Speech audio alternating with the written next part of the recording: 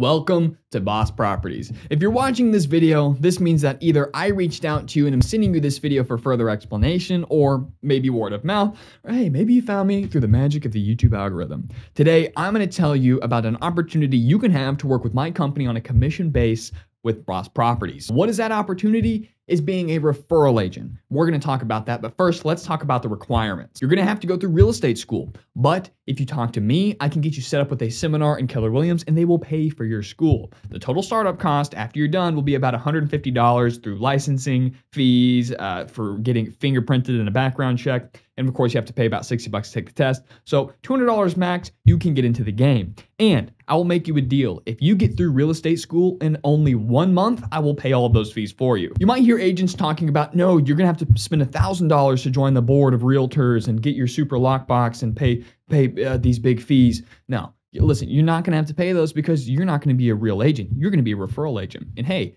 if you've enjoyed being a referral agent and you want to go big time and, and be a, a, real agent, you can do that as well. But let me explain why it's so valuable to be a referral agent. In real estate, if another agent were to refer me a client, I'm going to pay them a 25% referral fee. That's standard. So let me do some math for you. So the average median sale price in this general area of Springfield, Ozark, Nixa is about $265,000. That's the average. My commission on that would be $8,000. The referral fee on that would be 25%. So that's $2,000 if you referred me the business. Stay tuned though. Watch this. We got to pay the uh, the Keller Williams fees, so it ends up being a $1,300 just for giving me the referral. And let's say you give me one referral every single week. That's $5,000 or over $60,000. Now I know what you're thinking. Greyson, how in the world am I going to give you referrals. Now, I have a whole document sitting right in front of me talking about how to uh, lead generate. This is basically your job a full time lead generation referral agent for Boss Properties. Now, what you're about to watch is another YouTube video that I just made talking about all of the different lead generation tactics. We're gonna go through the numbers, we're gonna go through how much you can make with only two referrals a week. We're gonna go through everything you need to know, all the requirements, and basically how easy it is to make an exponential amount of money working for yourself with Boss Properties. You set your schedule. You can work part time on weekends only. You can do whatever you want. I don't care because it's commission based. I want you to work hard in every day because I want you to make the most amount of money. Because when you make money, I make money. So stay tuned. It's a little bit long, but check out this video on all the different lead generation strategies. And by the end of it, you're going to be like, hey, if I can get started with this for free and I have all this, uh, the, the, you you have the best lead generation plan in all of real estate at your fingertips. There's no reason you can't make a bunch of money in your first year. I've had my license for two months and I'll make eleven thousand dollars in real estate commissions alone this month. Stay tuned and good luck. So, number one is what everybody talks about, and that's hosting open houses. Now, as you can see, there is a minimum per month. Now, that isn't something that I expect the agents that I'm working with to do under my company, Boss Properties. Um, I told them, hey, do whatever you want. It's performance based, whatever. I'd like you to do this, but this is um, the the company goal. If you're working with Boss Properties, which I do have a, a, another agent with me, and two more, three more coming very soon once I get out of real estate school, this will be our target to hit is two per month. Um, per agent. And then if you have access to the MLS, you're probably familiar with the portal function. I have the Flex MLS and you can do a portal because, you know, you want to get a client, set up the portal so that way they can see listings through the MLS. But what you need to do is set up a portal for yourself. I have an email notification, I'll pop it up on the screen here. Every single time there is a new listing in my preferred price range, um, I get an open house potential notification. Basically, I see every single new house in the market that's in a decent price range, and I could reach out to the agent and ask to host a open house. Now, why does hosting open houses work? Long story short, only one person can buy a house. You might have 10 prospects walking in the door, one can buy it. Well, that's nine other people who are looking to buy a house. You're hosting the open house, you hand out your cards, you have potential, you know, nine or one or two or maybe even zero people walking in. Now, I've heard of agents hosting an open house where everybody already has an agent, and then it's like, okay, well, I wasted my time. But then my partner actually hosted an open house, got a bunch of leads, and one of the leads has an $800,000 budget. So, as you can see, getting an open house is a great way to work a couple hours on the weekends, as many times as you want, to get some free leads. Now, moving on to YouTube. Now, this is pretty self explanatory, but you create a business profile and you're not looking to be a YouTuber, not like what I'm doing here, um, but simple videos like uh, you would make make market updates, homes for sale in the area, goodbyes, um, you know, home buying myths, uh, stuff that's low uh, that that's targeted to your local demographic. Homes for sale in Springfield, Missouri. Uh, market statistics. Here's how the market's performing. Should you buy or should you invest or should you sell? Investment opportunities, whatever. Just local, local, hyper local uh, YouTube videos. So when people type in homes for sales, agents uh, in Springfield, Missouri, because you got to think Google is the number one search engine. What's number two? YouTube. Who owns YouTube? Google. So you're going to be able to hack the SEO system and get to the top of people's minds when they're typing in real estate in your local area. Another one is door knocking. Now, this is kind of uh, different because I don't door knock. I don't I don't like door knocking. I do other lead gen stuff, uh, but my partner door knocks all day, every day. And in fact, um, I sold a house, the house that I'm closing, that I'm getting the eight thousand dollar commission on. Um, that house is closing in a couple of weeks. I told him, his name is Jake Rapp, another agent with Boss Properties. I was like, hey, go to that house, walk around the neighborhood since you like door knocking, knock on the doors and say, hey, my name is Jake Rapp. I'm a real estate agent with Boss Properties. I just wanted to give you the common courtesy of uh, letting you know that the house just down the street sold within 24 hours for over asking. And I just wanted to pass that information along to you in case you were ever thinking about moving or pulling the equity out of your home, because a lot of people gained a lot of equity in the past few years in their homes, um, whatever it might be. And right now, I am in an apartment complex. It's a massive apartment complex, probably a thousand units. I'm actually moving to a house, uh, I think this month or something like that. Um, and well, actually, now that I think about it, yeah, I'm, I'm getting paid for another deal. So that would be another three grand. I'm doing a flat fee. So 9, 10, 11. Okay, so I'll have $12,000 in commissions uh, this month alone, and I've only had my license for like two months. Anyway, I'm not gonna go door knocking. Um, at this apartment complex since I'm a resident. But my partner, he's gonna come here. We're gonna print some door hangers hanging on every door here because I don't want to get in trouble since I live here. But who cares? You know, it, worst case scenario, they tell them to knock it off. But if you have a thousand door hangers on this giant apartment complex, you can do this in all the apartment complexes. This is a, a plan we're gonna roll out here very soon once we get the door hangers in the mail. But think about it: every single person in an apartment complex doesn't own a home. They're all potential clients. You get them on the phone. You set them up with a good loan program so they can get FHA 3.5% down. Maybe they qualify for conventional 3% down, seller concessions. You get them into the house for as cheap as possible on a good deal and you get to pitch them on the idea of, you know, you get to own your home. The interest on your mortgage is tax deductible. You get appreciation and you get loan pay down. Door knocking can be more than just randomly door knocking. If you sold a house in the area, go tell the neighbors about it. They'll appreciate it more than just a, regular door knock somewhere else. If you have an apartment complex,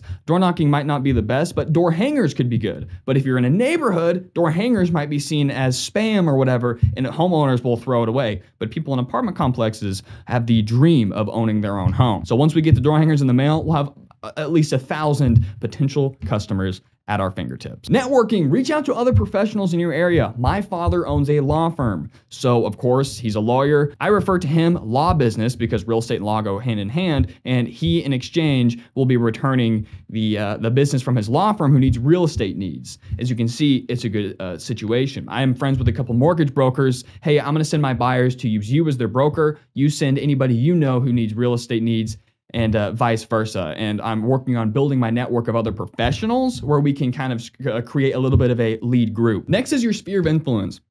This is probably the first thing that people tell you to do when you first become an agent, but they don't really go into any detail. You don't want to spam your family, your mom, your grandma, your dad, your, your, your grandpa, your cousin. Hey, you looking to buy or sell a home? No, they're not. But let me give you, give you an example of how working your sphere of influence you can work it creatively and get free customers when you didn't think that they would be a customer and they didn't either. I'm gonna give you an example. My grandma lives in a three bedroom, two bath home in Nixa, Missouri for $800 a month. That house could easily rent for $1,600, $1,700 a month. And the fact the landlord was gonna kick her out, sell the house, and run away with her equity. But my grandma had nowhere else to go because the apartment complex I live in is $1,200 a month for a two bedroom, two bath. She's paying 800 for a three bedroom, two bath house fenced-in yard, great neighborhood with a shed. So you can see where I'm getting at this. She had uh, basically no budget. She's on a fixed Social Security income, and uh, she was basically screwed, freaking out. She's gonna have to go live in some shithole, uh, which she didn't want to do, and no one wanted her to do that. Luckily, her landlord let her stay for another year or two, but in a year or two, she's gonna have that same problem.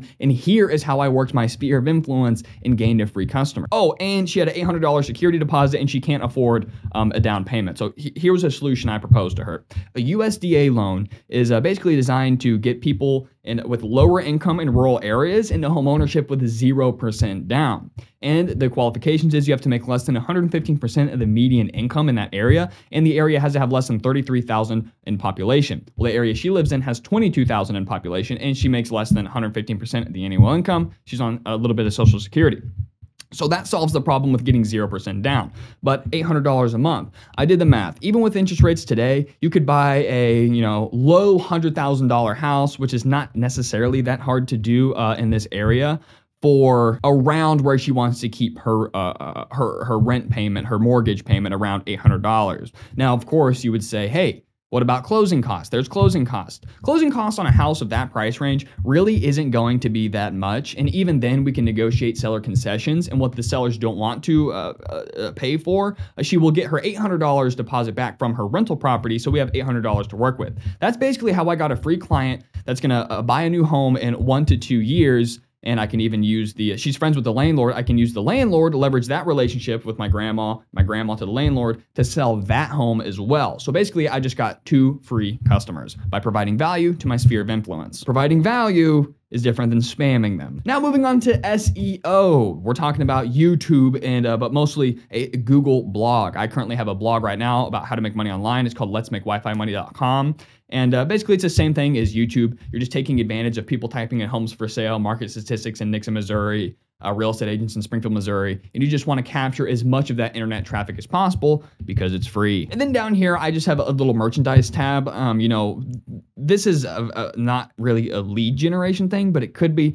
You know, let's say uh, we get someone into a home and uh, the first day they move in on closing or whatever. Um, I give them a fruit basket with a really, really nice high end Boss Properties hat or a Boss Property water bottle or a, a really, really, you know, like a $100 hydro flask, something that people are genuinely going to, to use, not just throw away like a mouse pad or a, a calendar or something stupid. A real product wrapped around something that they're actually going to use, like a fruit basket, for example, or uh, cleaning supplies if it's the first time home buyer, whatever. But make sure they're actually going to use the product you give them and not just throw it away because you want to make it look good because people can be like, oh, I love that that that mug. I love that that wallet. I, I love your water bottle. I love your hat. Uh, this really cool shirt or pair of pants or whatever. Where did you get it? Well, I got it from my real estate agent. Hey, I know someone who's looking to sell a house. You see where I'm getting with. Not spamming them with shitty mouse pads or anything like that, but actually, you know, uh, once again, providing value. Now, I know this is probably a long video, but here is the part that I'm most excited about you can bring on referral agents. I'm 21 years old, and a lot of my friends, in fact, all of them are basically like, I don't know what I'm gonna do with my life. Um, you know, I didn't go to college, or some of them are about to get it out of college, and they're like, I don't want a job, I wanna make a bunch of money. This is where I come in. Referral agents. So basically, for Boss Properties, I'm gonna say, like, I've got three people in the pipeline right now uh, about to go through real estate school. Here's the deal the average sale price right now in Springfield, Missouri, where I live, is $265,000. Technically, it's a little bit lower, but Nixa, the next town over, is $325,000. So I'm doing a, a, average home price of the whole area. So let's take $265,000 times my 3% commission. That's $8,000. I have not capped at Keller Williams yet, so I have to pay 30% plus a 6% royalty fee. But a referral agent would make, let's see, 25%, $2,000, but paying all their full fees, $13,000, $1,300 per referral. Where am I getting at this? If you give me one referral every single week, you'll make $5,000 or over $60,000 a year after all fees are paid. Now, what am I getting at? Okay, yeah, referrals are great. Well, what these people are going to be doing for my business is they're going to be wa- working in my office full full time, part time, and and whatever they want to do. But they're going to do all of these lead generation tactics. They're going to print out personally branded business cards. They're going to print out personally branded door hangers. Go make hanging runs. Uh, you know, go host open houses. Basically, full time focusing on lead generation, not practicing real estate. That's my and my partner's job but their entire business or their entire job in my business is to completely get referrals, right? That's the exact same thing that I'm going to be doing. But when I get a referral, I'm going to be bogged down with the day to day works of the transaction. Not them. They get a client, move on. If that closes, they get their paycheck. So let's do the math again. As you can see, only one per week if you're working full time making 5K without actually doing any real work, just lead generation. But if you were to get two a week, that means you would make $10,000 a month after fees or in other words, $122,000 without really doing anything at all real estate wise besides lead generation. So there you have it, everything you need to know, the startup cost, the requirements going through real estate school, and how I'll pay it for you if you go through it in a month, and also the best lead generation plan at your fingertips. That's all I've got for you today. Welcome to Boss Properties, and I'm looking forward to hearing from you soon.